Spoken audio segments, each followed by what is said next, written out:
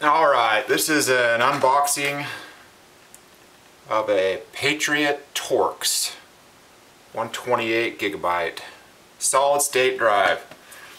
The audio might not be all that good so I'll try to talk loud. This is what you get when you get a solid state drive from Patriot a Torqx drive. So you open it up and the first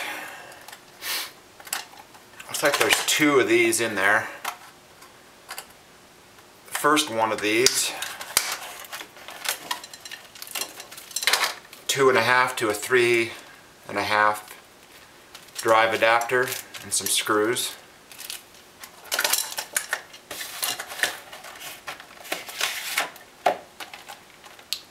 Then you have the drive itself.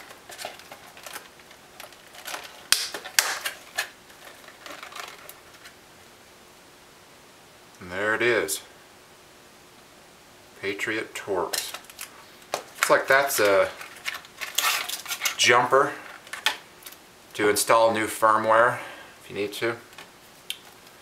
I'm hoping this already has the latest firmware on it. I've already got one of these this is my second one. They're excellent, excellent drives. So, there's what you get right there.